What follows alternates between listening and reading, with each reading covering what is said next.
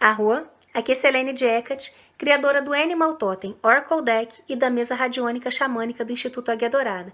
Vocês estão prontos para a nossa 35ª aula do curso de runas?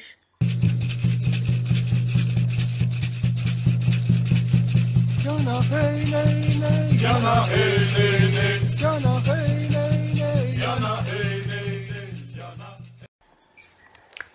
Se você está chegando aqui agora, você já está no finalzinho do curso. Dá uma olhadinha aqui no card que eu estou deixando afixado, que você vai, vai ter acesso desde a primeira aula nessa playlist.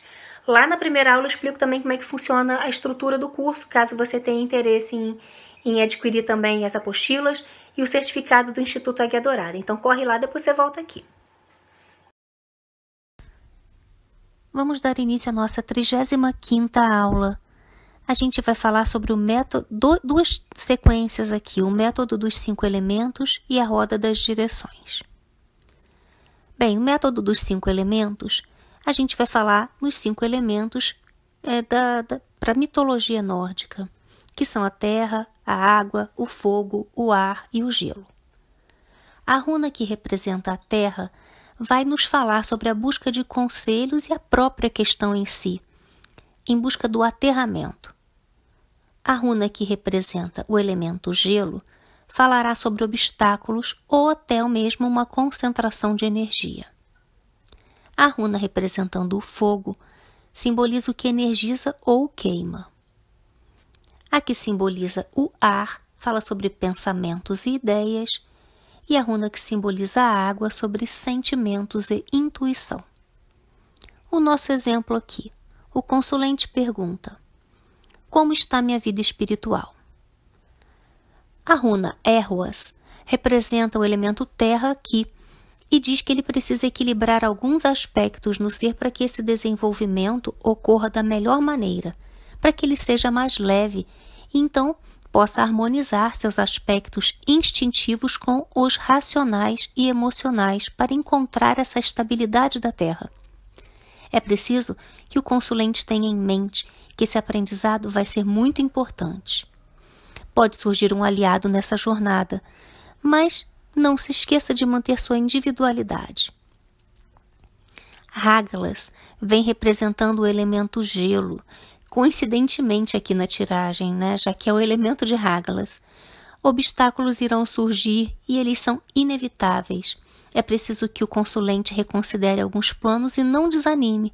Não deixe que esses obstáculos, que irão atrasar alguns planos, o entristeçam. Vão ser para o bem dele. É aquela coisa do ganho, é, da perda de, de curto prazo para um ganho de longo prazo. A maturidade não vai acontecer da noite para o dia. A runa Eiroas representa aqui o elemento fogo e orienta o consulente a ser forte e flexível, assim como o galho de teixo, o arco de teixo. Então, para que ele possa né, manifestar a mudança que ele espera na vida, ele precisa se permitir transformar como o fogo, o fogo transmutador. E essas mudanças podem surgir sem que ele esteja preparado, mas é preciso entender que para ele trabalhar a sua vida espiritual, vai ser necessário abrir mão de algumas coisas. Vai ser necessário ser mais flexível, fazer sacrifícios, assim como fez Odin quando se auto-sacrificou em busca do conhecimento das runas. Aconselhe o consulente a não temer encarar qualquer tipo de obstáculo. É preciso só ficar atento e manter o foco. A runa Ansus, na posição do elemento ar, o orienta a buscar conhecimento, a organizar os pensamentos e a forma com que se comunica, mas também fala sobre mediunidade. Então, aconselhe seu cliente a usar a mente e a intuição para não cair em enganos ou ilusões. Para finalizar, a runa Souilo vem na posição do elemento água e traz a mensagem que, independentemente de qualquer julgamento, o consulente deve seguir seu caminho e perseverar, ter fé, acreditar, tudo vai dar certo. Aconselho-o a não gastar energia com preocupações, é preciso que ele esteja pronto para a iluminação que vai chegar. Este outro método se chama roda das direções. A simbologia deste método está ligada às quatro direções cardeais e aos elementos correspondentes, enquanto o centro representa a quinta essência, o espírito. A primeira runa corresponde ao sul, cujo guardião é Sudri, e ao elemento fogo, construtivo e destrutivo, e representa as circunstâncias e influências ligadas ao consulente ou à questão. A segunda runa corresponde ao oeste, cujo guardião é Vestre, e ao elemento água, e nos diz sobre os obstáculos, desafios e dificuldades existentes. A terceira runa corresponde ao norte, cujo guardião é Nordri, e refere-se ao elemento terra, simbolizando os fatores favoráveis ou a ajuda recebida pelo consulente, seja a nível material ou espiritual. A quarta runa corresponde ao leste, cujo guardião se chama Austri, e o elemento associado é o ar, e indica o resultado imediato e provável dessa questão. Por último, a quinta runa traz a síntese, descrevendo as influências que definem toda a situação e os resultados, ou as lições a longo prazo. Então, deixe claro ao consulente sobre tomar responsabilidade sobre suas escolhas e ações, pois o que ele planta hoje vai ser colhido no futuro. Exemplo de tiragem. Como posso melhorar como pessoa? pergunta o consulente. Bem, segundo a sequência aqui, Manás invertida sinaliza que o consulente está vivenciando um período de confusão mental, medos, ilusões, talvez até depressão ou uma forte tristeza. Sua teimosia e ou isolamento acabam afastando das pessoas, e tudo o que ele precisa nesse momento é justamente o contrário. Quanto mais se isola, mais estreita e míope é sua visão do mundo, e torna esse consulente uma pessoa mais intolerante, rancorosa e agressiva.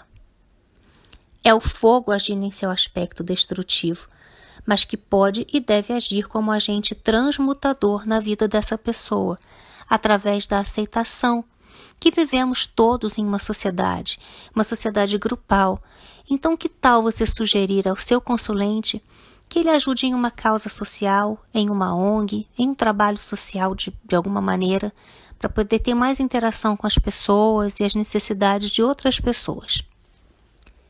As maiores dificuldades que o consulente tem estão ligadas justamente à sua teimosia, e o urus mostra resistência a mudanças e agressividade, mas ao mesmo tempo sinaliza que seu consulente tem coragem e resistência para essas mudanças.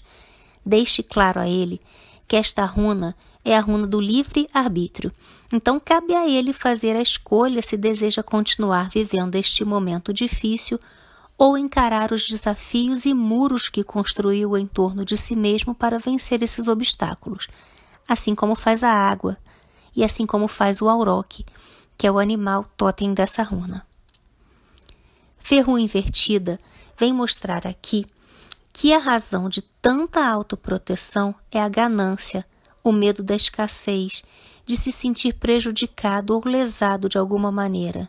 Seu consulente pode estar se sentindo desta forma por já ter sido vítima de engano, de roubo, de cobiça, da ilusão do, né, criada por outras pessoas.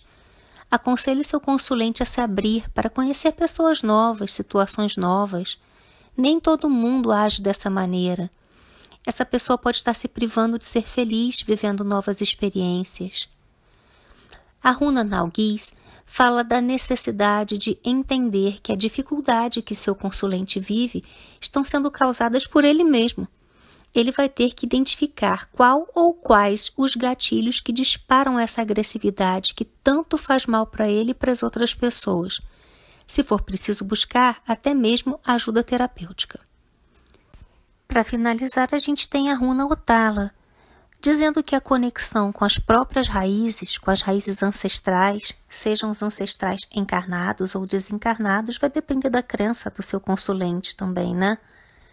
Mas, de qualquer forma, as memórias, a história da sua ancestralidade vai dar força para essa pessoa, vai dar sabedoria para superar os desafios.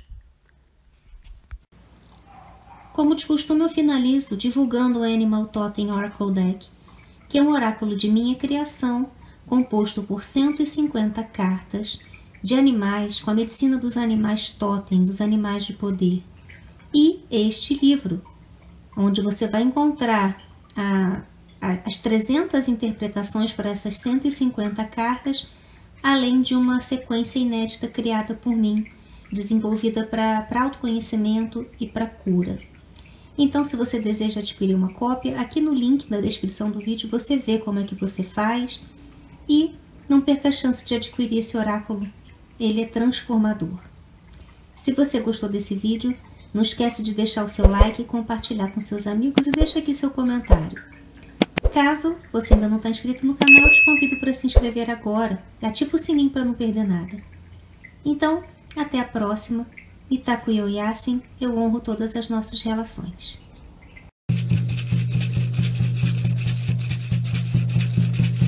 Jana, hey, hey, hey. Jana, hey, hey, hey. Jana.